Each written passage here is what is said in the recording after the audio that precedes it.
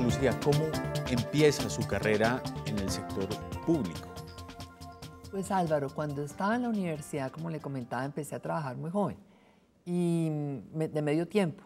Y en esa época estaba en tercero de derecho, tenía 18 años y alguna vez me comentó un compañero que es muy amigo mío hoy, Gonzalo Sanín, hermano de Noemí Sanín, por eso además me dice amiga de Noemí, que había unos puestos de medio tiempo en la superbancaria. Y yo fui, apliqué, me presenté y allá empecé a trabajar de medio tiempo como patinadora jurídica, era como mensajera jurídica más o menos. Me tocaba llevar el diario oficial hacer análisis y todo. Y estuve ahí unos años. Pero ya después, al terminar la universidad, me gradué, me fue muy bien, llegué a unas posiciones importantes. A los 25 años fui directora de bancos de la superintendencia. Después me retiré, tuve una oficina particular un tiempo. Después me invitó el doctor Luis Carlos Sarmiento a ser asesora jurídica a él. Estuve trabajando con él algunos años. Fue una experiencia maravillosa, fue mi primer servicio militar. Y después entonces eh, fui presidenta de una eh, compañía financiera, Mazda Crédito. Allí estuve varios años. Después llegó el gobierno de César Gaviria y me invitó a ser directora del Incomex. Entonces allí volví otra vez al sector público, después de muchos años del sector privado. Eh, conocí el campo del comercio exterior, me pareció fascinante. Se me ocurrió la idea de hacer un ministerio de comercio exterior y le propuse al presidente Gaviria que se hiciera el ministerio. Me dio la responsabilidad de sacar adelante esa ley, de armar el ministerio en el momento de nombrar ministro, obviamente yo no tenía pedigrí político, no tenía ninguna credencial. El ministro fue el doctor Santos, yo fui la viceministra de Comercio Exterior de él. Después de un tiempo me retiré del ministerio, volví otra vez al sector privado varios años y después en el gobierno del presidente Pastrana me nombró ministra de Comercio Exterior. Fueron cuatro años maravillosos desarrollando una política de competitividad, exportaciones, de emprendimiento. Le cuento una cosa, hicimos la primera política pública de emprendimiento en América Latina, la hicimos aquí, en Colombia, jóvenes emprendedores exportadores.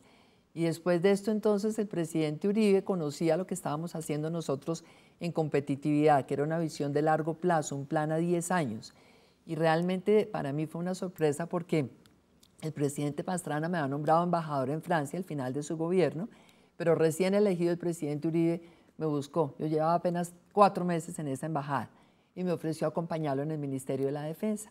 Allí llegué yo al Ministerio de la Defensa, al principio la verdad le confieso, dije no quiero estar en este ministerio, no conozco el tema, nunca he pensado meterme en los temas de militares y policías, pero fue realmente una experiencia fascinante. Le agradezco a la vida la oportunidad que me dio de conocer el país con otros ojos y esto me produjo realmente esta, esta vinculación a la política, este deseo de servir toda esta experiencia eh, a Colombia, hoy creo que hay que materializarles desde la política, el buen manejo del Estado y este sentido incluyente de la sociedad colombiana que creo que ha faltado. Bueno, antes de empezar a hablar de, particularmente de, algunas de esas experiencias derivadas de, ese, de esa convivencia del mundo del sector público, del sector privado, que es muy interesante, usted mencionaba que trabajó con el doctor Luis Carlos, Luis Carlos Sarmiento.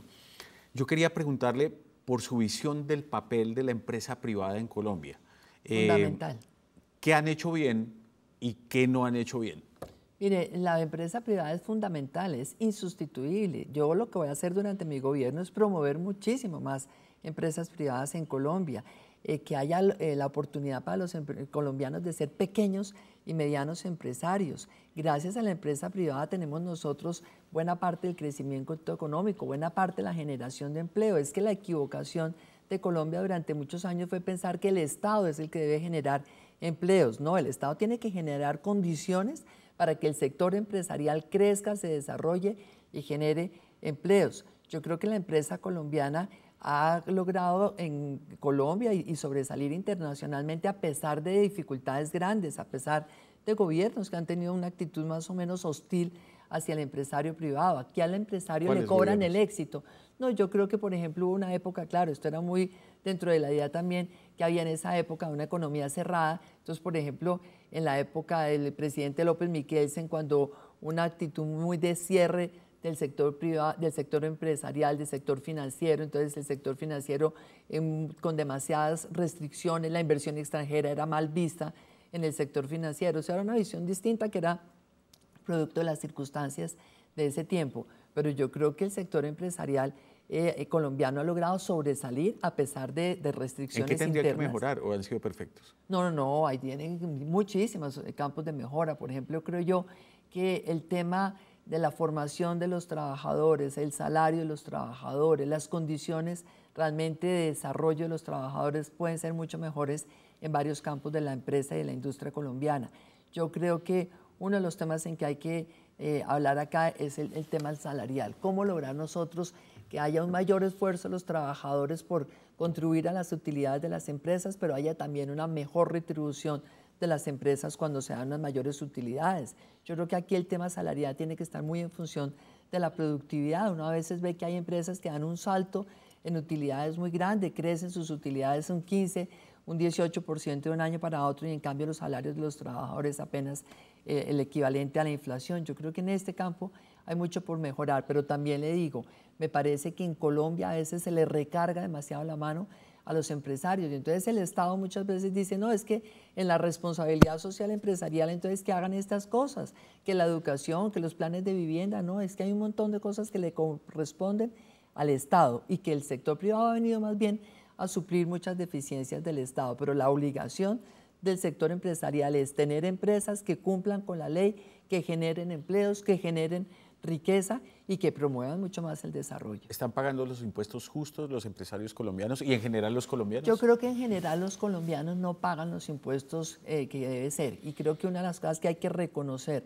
en este momento es la labor que está haciendo eh, Juan Ricardo Ortega en la DIAN, reduciendo realmente esta evasión fiscal que siempre ha caracterizado a Colombia, porque los colombianos debemos aprender la cultura de los impuestos, hay que pagar los impuestos, pero al mismo tiempo tenemos que ver un Estado que invierte bien los impuestos. Aquí un tema fundamental es acabar la corrupción, es acabar toda esta cantidad de huecos que existen y que lamentablemente a veces desestimulan al, común de los ciudadanos para pagar sus impuestos. Entonces dicen, es que ¿para qué pago si se van a robar la plata? No, aquí no puede haber ningún tipo de agujero por el cual se roben los impuestos, pero sí hay que pagar y hay que pagar mejor. Es más, aquí la gente dice que pagamos impuestos altos, pero realmente la tasa del impuesto que pagamos los colombianos, por ejemplo, en las familias, es inferior a la que pagan en otros países, como Chile, como Argentina mismo. Las empresas colombianas están pagando unas tarifas de impuestos que están por encima de las que pagan otros países. Entonces, esta idea de que es que los empresarios pagan poquito y que en cambio los ciudadanos pagamos mucho, no, si uno lo mira en términos internacionales es al revés. Las empresas pagan más los, ciudadanos pagan menos. Lo que pasa es que todo el mundo tiene que pagar lo que le corresponde, dejar esta cultura de la trampa en materia impositiva. Uno de los grandes dolores de cabeza de este gobierno ha sido el, tema del campo. Cuando hubo el paro agrario, eh, digamos, uno de los argumentos más importantes de los campesinos y de los líderes que, que, estuvieron al frente de estas protestas que paralizaron el país fue el tema de los TLCs. Ahora le quiero preguntarle a usted como experta en comercio exterior. Colombia ha hecho bien firmando TLCs con diferentes países eh, y ahora, digamos, arrancando una nueva alianza, que es la Alianza del Pacífico, que ha, nacido muy fortalecida y que parece muy vigorosa en relación con lo que está pasando con otras organizaciones en, en, la región. ¿Usted piensa que ese es el camino? Álvaro, yo creo que Colombia tiene que seguirse abriendo el mundo. Estamos en una época global.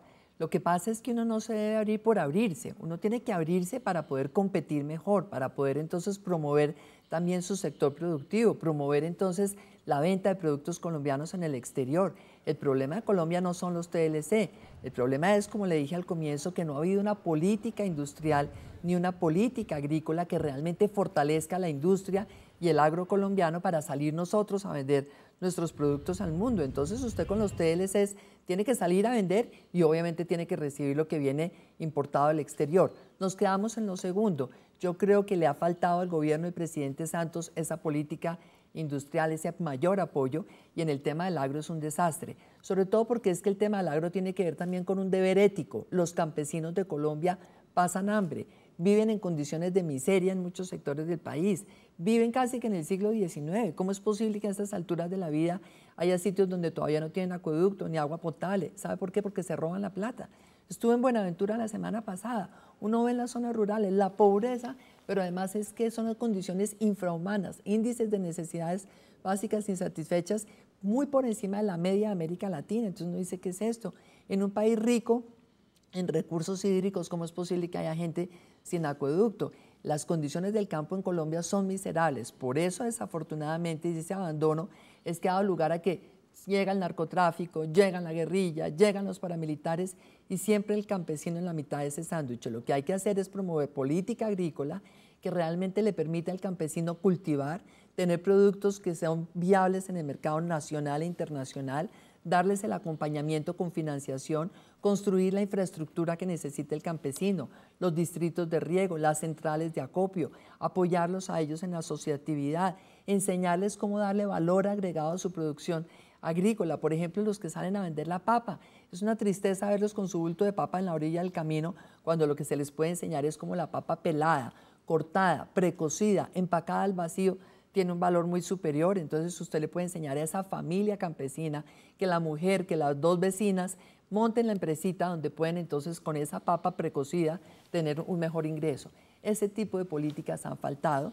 Recientemente ha habido un pequeño crecimiento en la agricultura, pero es que a mí me parece que uno no debe venir a aplaudir el crecimiento cuando es producto de que se haya caído drásticamente la producción agrícola, que llevaba dos años cayendo, entonces ahora dicen, ah, es que qué bueno que aumentó, pues sí, qué dicha que aumentó, pero apenas estamos recuperando los niveles que había anteriormente. Usted fue ministra de Defensa.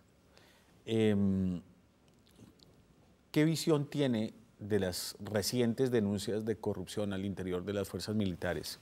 y, digamos, en, un pasado no tan lejano del doloroso, episodio de los falsos positivos. Mire, me duele profundamente lo que le pasa al ejército y a la policía de Colombia porque son instituciones fundamentales para la democracia colombiana, para la seguridad de los colombianos, para la protección de la vida y las libertades de los ciudadanos. Y son instituciones donde hay una gente valiosísima. Si alguien hay sacrificado en el sector público en Colombia son los militares y los policías, pero precisamente porque son instituciones tan grandes que están en contacto con la criminalidad permanentemente, uno tiene como, como poder civil la obligación de ayudar internamente a fortalecer los controles. Y eso es lo que hice yo como ministra de la Defensa.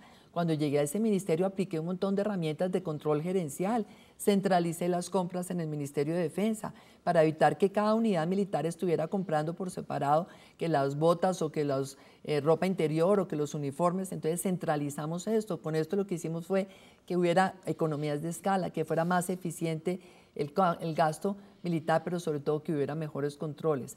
Yo sí creo que buena parte de los hechos de corrupción obedece a que se han relajado los controles. Y me parece que esos casos individuales hay que investigarlos, hay que perseguirlos, hay que eh, castigarlos drásticamente, pero no por esos casos eh, dañar la imagen de toda una institución fundamental como son las fuerzas militares. El tema de los falsos positivos me parece de una gravedad total, me parece totalmente inaceptable que se hayan dado, pero le voy a contar una cosa. Cuando yo era ministra de Defensa, en mi ministerio no había esos indicadores de cuántos eran los muertos en combate, ni se le aplaudía a nadie el que entregara muertos en combate. En mi ministerio, en la época con el presidente Uribe, la iniciativa mía fue aumentar las desmovilizaciones. Ese programa de desmovilización fue un invento mío, las desmovilizaciones masivas de guerrilleros, porque nos parecía que era un tema fundamental. Primero, por el aspecto humanitario, era sacarle niños al combate.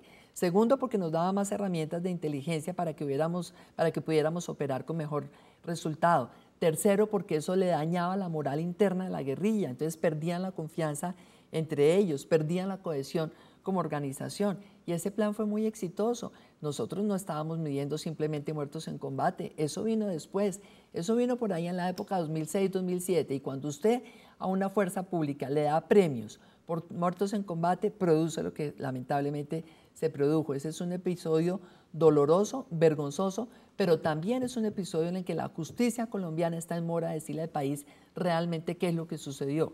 Porque es que hoy se especula con unas cifras que son absolutamente impresionantes, que son totalmente inaceptables, pero también quedaron un montón de militares con un manto de duda, los destituyeron y después nunca se ha sabido quiénes realmente tuvieron responsabilidades y quiénes no. Yo creo que a los que tienen responsabilidad les tienen que aplicar condenas drásticas, pero también hay que decir quiénes realmente fueron destituidos eh, sin, ningún, sin justa causa, a quienes les desecharon el agua sucia en ese momento, porque lo que yo sí creo acá es que ha faltado eh, hablarle con más claridad al país quiénes son los responsables directos de haber establecido incentivos perversos y de haber estado promoviendo que hubiera eh, esos resultados.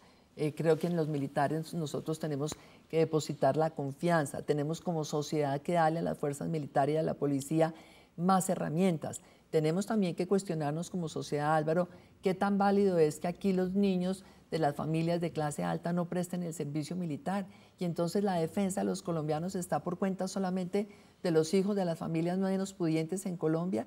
¿Eso es ético? Yo no creo. Yo una de las cosas que quiero hacer en el gobierno nuestro es definitivamente pasar un proceso muy rápido para profesionalizar totalmente el ejército de Colombia y tener nosotros realmente conciencia de que eso supone un presupuesto adicional, porque un soldado profesional vale más que un soldado de, un recluta, uno de servicio militar. Pero no es ético que sigamos haciendo un servicio militar por cuenta de la gente que no tiene recursos económicos y por lo tanto no está estudiando y por lo tanto entonces a ellos sí se los llevan a la fuerza. Esos vacíos son los que también explican muchas veces los problemas que hay al interior de la fuerza pública. Doctora Marta Lucía, le invito a que hagamos una pausa para regresar y hablar de política internacional y de su programa de gobierno. Perfecto.